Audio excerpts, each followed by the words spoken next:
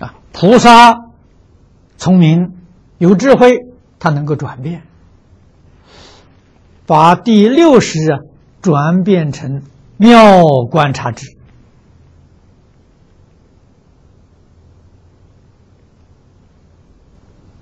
啊，观察是明了啊，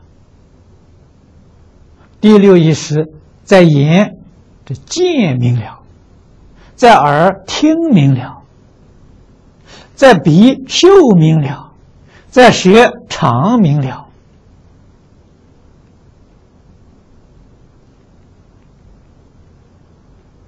啊，在身呢粗明了，在意知明了，观观察加一个妙，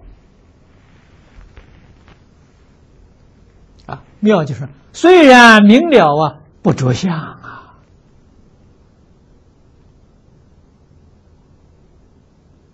不分别，明了不分别，这是真智慧呀！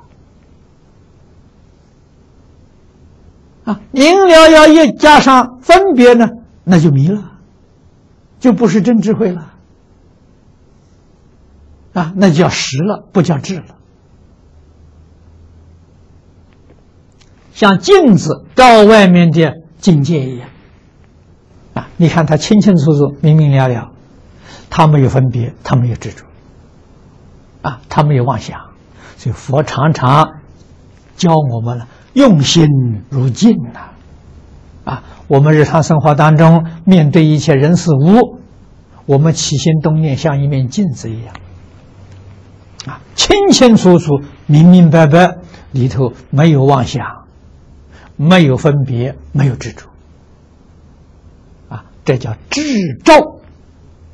妙观察智啊，照六尘境界啊。转第七识为平等性质啊，第七识是染污执着，执着就不平等了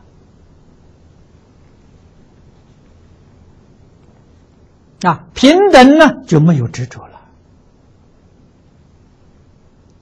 所以，对一切法不再执着了，你的平等心现前了，平等性质现前了，有丝毫执着啊！我要这样，我要那样啊！这个是对的，那个是不对的，这不是知实啊啊实。就造业，智不造业。